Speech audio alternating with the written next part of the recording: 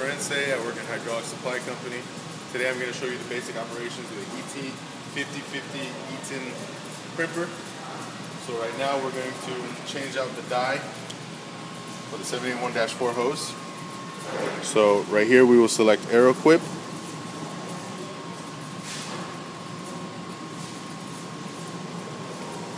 Now we will punch in 781. Select GH781. 4.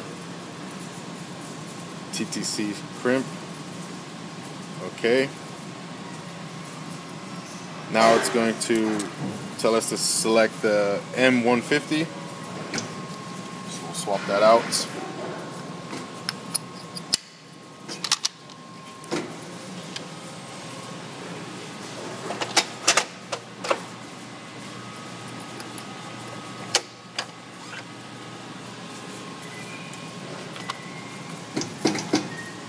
So line up the dies, the pins, make sure we don't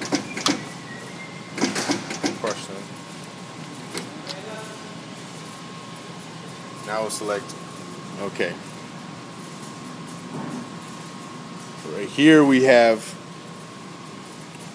the die setting. Below that we have the crimp spec. Below that we have the tolerance. Below that we have the ovality.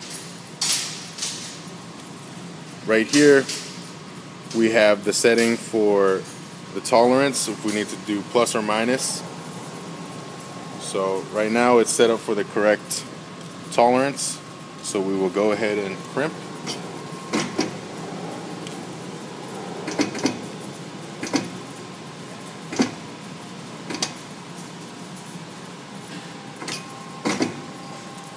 Go ahead and check the crimp.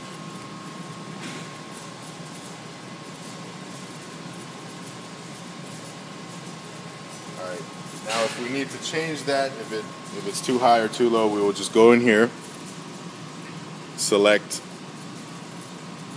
one point lower, okay, and once we have that dialed in, we'll, we'll go ahead and select Star Plus so we can save it, which is one of our special features that we have.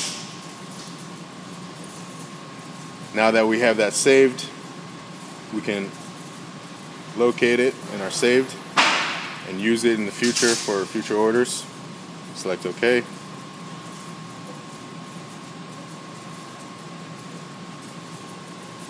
Die setting.